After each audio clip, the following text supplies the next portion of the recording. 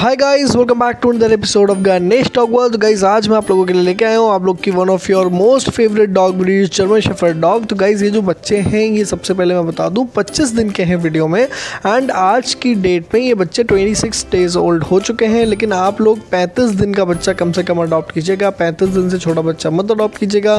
Guys ये जो बच्चे हैं, ये सारे के सारे मीडियम कोर्ट में हैं, ठीक है? एंड इसमें मेल एंड फीमेल पपीज़ दोनों ही अवेलेबल हैं तो आप दोनों ही पपीज़ के लिए अप्रोच कर सकते हैं ओनर को। गाइस इसमें लिटर में एक थोड़ी सी यूनिक चीज़ है। दो मेल पपीज़ हैं जिनके 22 नेल्स हैं एंड एक फीमेल पपी है जिसके 20 नेल्स हैं। तो अगर आप एक थोड़ा सा यूनिकनेस चाह रहे थे अपनी पपी में तो आप ओनर से डायरेक्टली कॉन्टैक्ट कर सकते हैं। ओनर का direct contact number description box में है।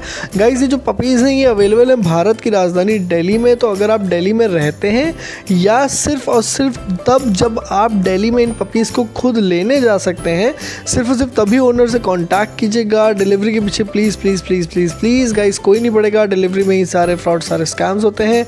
गाइस जो ओनर ने इस, इन पपीज़ का प्राइस रखा है, वो रखा है twelve thousand rupees male and ten thousand rupees female जो कि मेरे हिसाब से तो वर्थ है यार। अभी तो बच्चे छोटे हैं, आपको टेन डेज़ बाद मिलेंगे।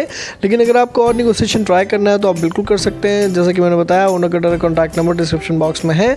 तो गाइज़ यही थी आज की छोटी सी वीडियो अगर आपको पसंद आई हो तो प्लीज़ लाइक करना भूलेगा एंड देखते रहेगा आपका अपना favourite channel Ganesh talk world